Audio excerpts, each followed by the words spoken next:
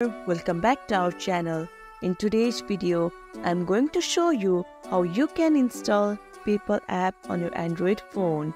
Unlock your phone and make sure your internet is connected and secured. Open your Google Play Store, tap on search bar at the top and write down PayPal. Hit the search button.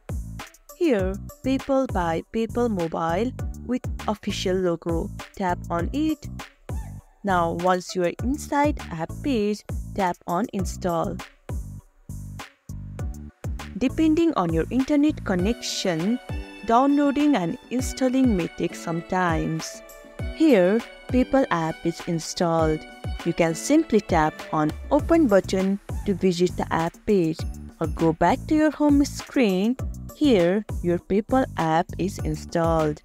Thanks for watching. If you have any questions and suggestions for future videos, comment us down below.